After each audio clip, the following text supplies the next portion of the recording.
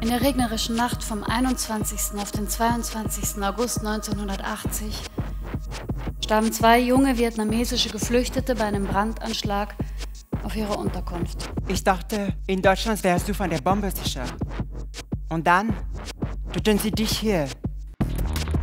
Vergessen wir auch nicht, dass große Teile unseres Volkes das Flüchtlingsschicksal erlitten haben. Wir sind nicht mehr länger von einem bestimmten Ort.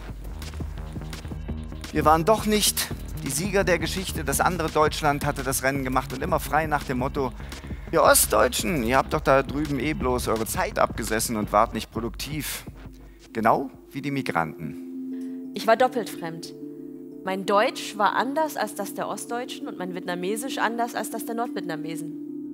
Ba mẹ con phải là người rời bỏ quê hương. Đây là một nỗi đau rất lớn đối với ba mẹ con.